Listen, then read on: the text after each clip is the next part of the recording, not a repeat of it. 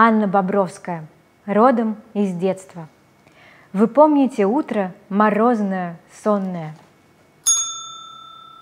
Вы помните утро морозное, сонное, когда еще даже не рассвело, снег засыпает лапы деревьев, и свет фонаря тихо льется в окно.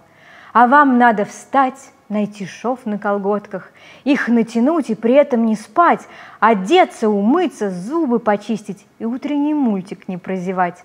Потом вас вставляли в валенки с шубой, сверху платок шерстяной или шарф, да так намотают по самые уши, что даже надо еще изловчиться дышать. Такой вот качанчик сажали на санки, могли одеялом в клетку прикрыть. Ты ехал практически в полном забвенье, а снег продолжал над тобою кружить.